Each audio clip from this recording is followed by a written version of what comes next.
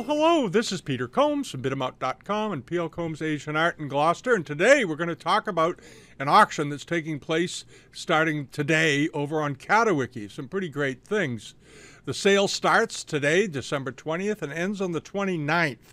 And it's coming out of a collection over in the UK. It's been looked over pretty carefully and uh, I think it's going to be a very interesting sale. There's about 29 lots, but they're all quite good and excellent.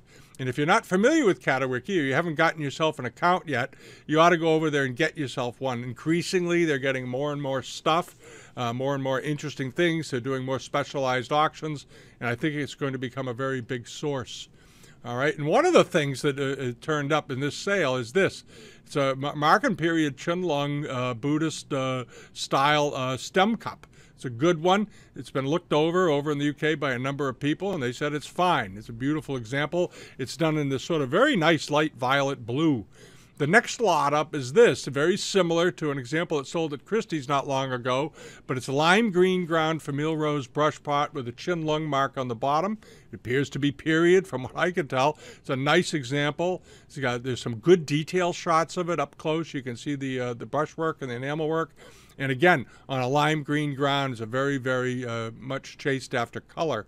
Then he has this. It's a 17 inch tall Republic period uh, uh, pear shaped vase with bat handles and iron red. Uh, the landscapes on it are very, very well done. Uh, it has a nice shape to it and it's big. This is unusually large for one of these. Uh, really well done. Here's the mark on the bottom, that's very typical uh, overglaze enamel blue Qianlong mark. And then next up is this. It's a Yongzheng Marken period uh, Doucai decorated dragon bowl. Similar to one that turned up at Sotheby's not long ago, but it has a dragons on the inside and the outside. There's a good shot of the foot rim. it looks fine, nicely done. It's sort of folded over, V-shaped. And then following that is a tourmaline fish and lotus uh, carving, a scholar's object for the desk. The uh, color of the stone looks very, very good.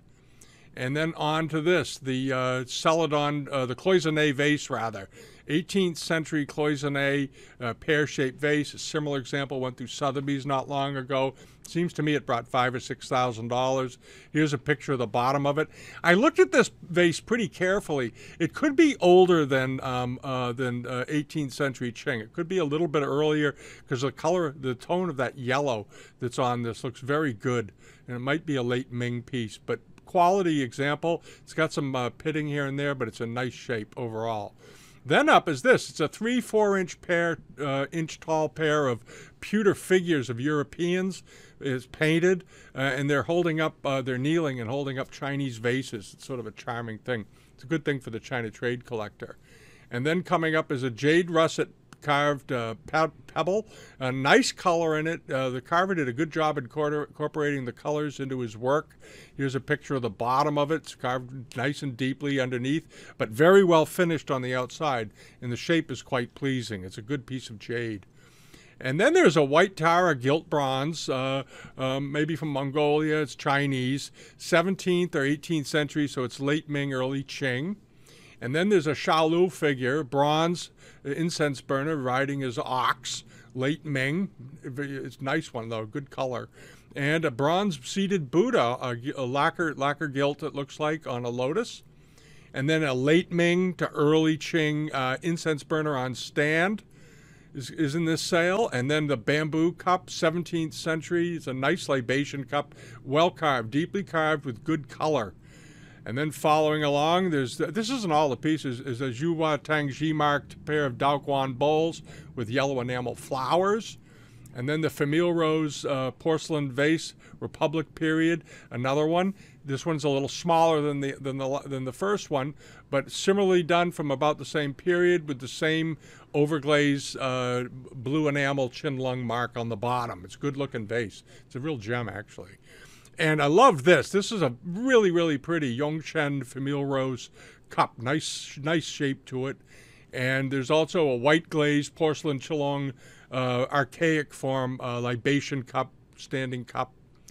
And then there's also this, an 18th century Famille Rose quail pattern bowl, no mark on the bottom. And then there's this. This is a, a style uh, yellow enamel bowl, but done in the 18th century.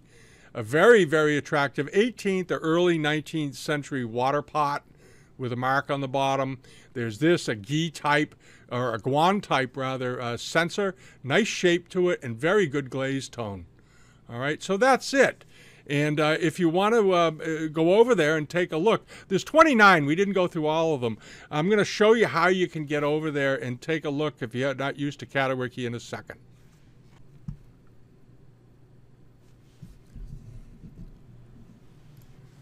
So this is the Catawiki homepage, and in order to get over to the sale, you just go to the top and you uh, pull down this uh, little drop-down menu that's up here, right here, and you go into the uh, Asian antiques category. Scroll down, there it is, and you move over, and you just follow the uh, lines across from uh, uh, the top of the page, and you go to Asian antiques. Click the final button, and it brings you over to the primary area for their Asian art options, art auctions. And look on the left hand side, and you'll see something there for uh, uh, private collections, exclusive collections. And scroll over, and you're going to find the auction on this bar at the end because it closes out on the 29th of uh, December. And when you click on that, it pulls up the whole sale, and there it all is right there, easy to find, and uh, uh, you can go through it and like I said before, if you don't have a Catawiki account, get yourself one because it's going to be uh, increasingly a bigger and bigger source for finding objects. All right. And that's it. Have a great weekend, and um, we'll see you all next time. Hope you enjoy the auction. Bye bye.